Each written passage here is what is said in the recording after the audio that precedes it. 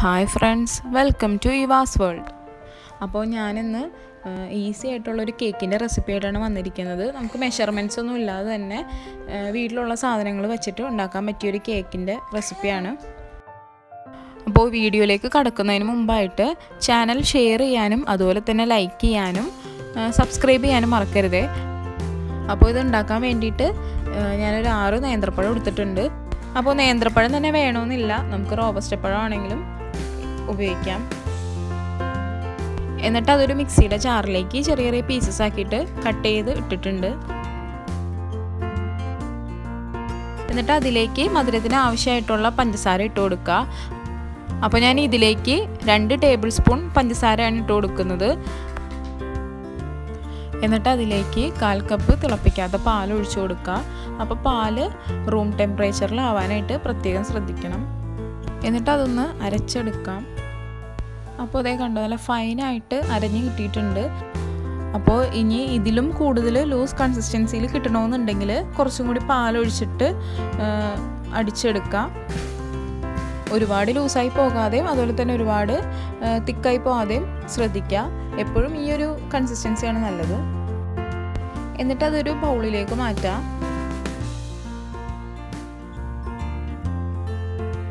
എന്നിട്ട് ഈ മിക്സ്ചറിലേക്ക് നമ്മൾ മൈദ ഇട്ട് കൊടുക്കുക അപ്പോൾ എനിക്ക് ഇതിലേക്ക് മുക്കാൽ കപ്പ് മൈദയാണ് ആവശ്യമായിട്ട് വന്നോളൂ. ഞാൻ അതിനായിട്ട് ഒരു കപ്പ് മൈദ എടുത്തിട്ട് ജസ്റ്റ് അതിന്റെ അകത്തേക്ക് കുറച്ച് കുറച്ച് ഇട്ടിട്ട് മിക്സ് ചെയ്ത് എടുത്ത് നമ്മളിതിൽ കൊക്കോ പൗഡറോ അല്ലെങ്കിൽ ഫ്ലേവറോ അങ്ങനെയൊന്നും ചേർക്കാത്തതുകൊണ്ടാണ് ജസ്റ്റ് ഇതേമാതിരി ഇട്ട് നമുക്ക് മിക്സ് ചെയ്യാൻ പറ്റണത്. ഇനിയിപ്പോൾ അങ്ങനെയൊക്കെ ചേർക്കുന്നുണ്ടെങ്കിൽ നമുക്ക് ഇതേമാതിരി മിക്സ് ചെയ്യാൻ പറ്റില്ല. നല്ലപോലെ അരിച്ചിട്ട് മാത്രമേ മിക്സ് ചെയ്യാൻ പറ്റുള്ളൂ. അപ്പോൾ ഇതിപ്പോൾ കേക്ക് ബാറ്ററിന്റെ കൺസിസ്റ്റൻസി ആയിട്ടില്ല. അതുകൊണ്ടാണ് ഞാൻ ഇച്ചിരി കൂടി പൊടി കൊടുത്തത്. എന്നിട്ട് അതിലേക്ക് ഒരു table spoon baking powder add ചെയ്ത് കൊടുക്കാം അതുപോലെ തന്നെ കാൽ ടീസ്പൂൺ ബേക്കിംഗ് സോഡയും കൂടി ഇട്ട് കൊടുക്കാം എന്നിട്ട് നല്ലതുപോലെ ഒന്ന് ഫോർക്ക് യൂസ് ചെയ്തിട്ട് മിക്സ് ചെയ്ത് കൊടുക്കാം അപ്പോൾ നോക്കി ഈ ഒരു പരുവം അതായത് ഒരുപാട് ലൂസും അല്ല എന്നാൽ ഒരുപാട് തിക്കും അല്ലാത്ത ഒരു ടൈപ്പ് നമ്മൾ ജസ്റ്റ് ഒരു സ്പൂണും കൊണ്ട് ഒഴിച്ചു കഴിഞ്ഞ് കഴിഞ്ഞാൽ ആ സ്പൂണിൽ നിന്ന് ഒഴുകി പോവാത്തൊരു പരുവമാണ് അപ്പോൾ ഞാൻ ഒരു കപ്പ് മൈദ എടുത്തിട്ട് അതിൽ കാൽ കപ്പ് ബാക്കി വന്നു. മുക്കാൽ കപ്പ് മാത്രമാണ് ആവശ്യമായിട്ട് വന്നോളൂ. എന്നിട്ട് അതിലേക്ക് ഒരു നുള്ള് ഉപ്പും കൂടി ഇട്ട് കൊടുക്കുക. അപ്പോഴാണ് ആ ഷുഗറൊക്കെ ഒന്ന് ബാലൻസ് ആവുള്ളൂ. എന്നിട്ട് ഞാനിത് ഉണ്ടാക്കാനായിട്ട് എടുത്തേക്കുന്നത് ചായ തിളപ്പിക്കുന്ന ഒരു പാത്രമാണ്.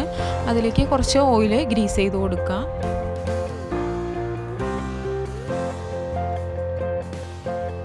ഓയിൽ തേച്ചതിന് ശേഷം ഞാനൊരു ബട്ടർ പേപ്പർ വെച്ച് കൊടുക്കുന്നുണ്ട്. അപ്പോൾ ബട്ടർ പേപ്പർ ഓപ്ഷണലാണ് വേണമെങ്കിൽ മാത്രം വച്ചാൽ മതി. എന്നിട്ട് അതിലേക്ക് കുറച്ച് ഓയിലും കൂടി സ്പ്രെഡ് ചെയ്ത് കൊടുക്കുക. എന്നിട്ട് നമ്മൾ നേരത്തെ ഉണ്ടാക്കി വെച്ചിരിക്കുന്ന ആ കേക്കിന്റെ ബാറ്റർ ഒഴിച്ചു കൊടുക്കുക. എന്നിട്ട് ഒന്ന് ജസ്റ്റ് ഒന്ന് ലെവലാക്കി കൊടുക്കുക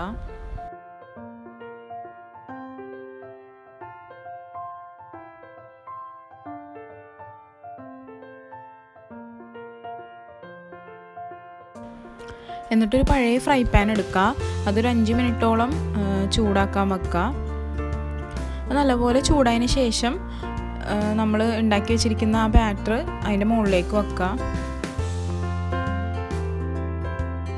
എന്നിട്ട് നല്ലപോലെ ഒന്ന് മൂടി വെച്ചിട്ട് വേവിച്ചെടുക്കുക അപ്പോൾ ഇതൊരു നാൽപ്പത് മിനിറ്റ് മീഡിയം ഫ്ലെയിമിൽ വെച്ചിട്ട് വേവിച്ചെടുക്കുക അതുപോലെ തന്നെ അപ്പം അപ്പം വന്നിട്ട് തുറന്ന് നോക്കുകയൊന്നും ചെയ്യരുത്.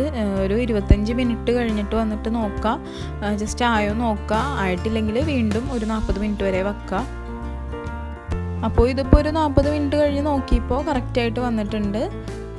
കേക്കൊന്നും അങ്ങനെ സ്റ്റിക്ക് ചെയ്തൊന്നും നിൽക്കുന്നില്ല. എന്നിട്ട് നമുക്കതൊന്ന് ചൂടാറാനായിട്ട് വെക്കാം.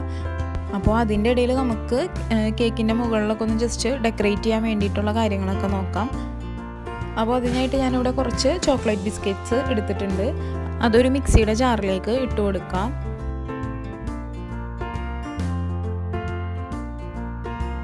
എന്നിട്ട് അതിലേക്ക് ഒരു ടേബിൾ സ്പൂൺ ഷുഗർ ആഡ് ചെയ്ത് കൊടുക്കുക എന്നിട്ട് അത് നല്ലപോലെ ഒന്ന് പൊടിച്ചെടുക്കാം.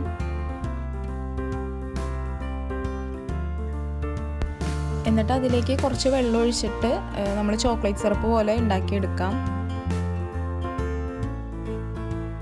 എന്നിട്ട് നമുക്കത് മാറ്റി വെക്കാം. അപ്പോൾ ആ ടൈം കൊണ്ട് നമ്മുടെ കേക്കൊക്കെ നല്ലപോലെ ചൂടാറിയിട്ടുണ്ട്. അതൊരു പാത്രത്തിലേക്ക് മാറ്റാം.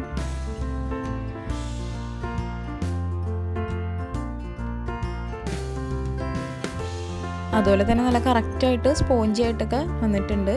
എന്നിട്ട് അതിലേക്ക് ജസ്റ്റ് കുറേ ഹോൾസ് ഇട്ട് കൊടുക്കുക എന്നാലാണ് ആ ബിസ്ക്കറ്റ് സിറപ്പ് അതിലേക്ക് നല്ലപോലെ ഇറങ്ങുള്ളൂ.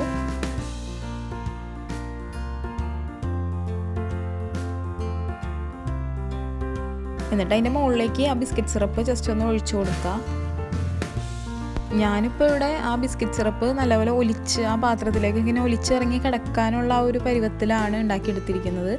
ഇനി ആ സിറപ്പ് ആ കേക്കിൽ നല്ലപോലെ കവർ ചെയ്തിരിക്കണമെന്നുണ്ടെങ്കിൽ നമ്മൾ വെള്ളം കുറച്ചിട്ട് സിറപ്പ് ഉണ്ടാക്കിയാൽ മതിയാവും. നല്ല ടൈറ്റായിട്ട് ആ സിറപ്പ് ഉണ്ടാക്കിയാൽ മതി.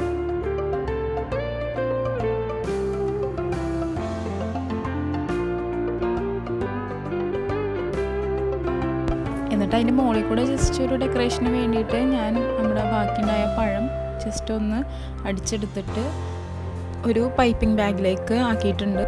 എന്നിട്ട് അത് വെച്ചിട്ട് ചെറിയ ചെറിയ ഡിസൈൻസ് ഒക്കെ അതിന്റെ മുകളിൽ ജസ്റ്റ് ഒന്ന് കൊടുത്തിട്ടുണ്ട്.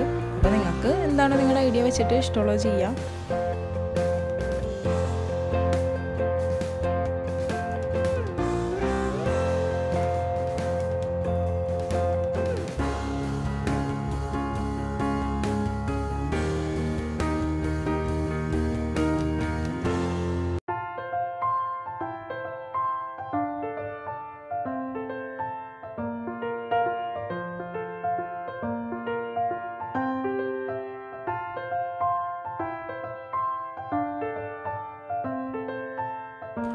അപ്പോൾ നമ്മുടെ കേക്ക് റെഡി ആയിട്ടുണ്ട്. നല്ല ഈസി ആയിട്ടുള്ള അതുപോലെ തന്നെ നമുക്ക് സാധാരണക്കാർക്കൊക്കെ ഉണ്ടാക്കാൻ പറ്റിയ ഒരു കേക്കാണ് എല്ലാവരും ട്രൈ ചെയ്ത് നോക്കുക.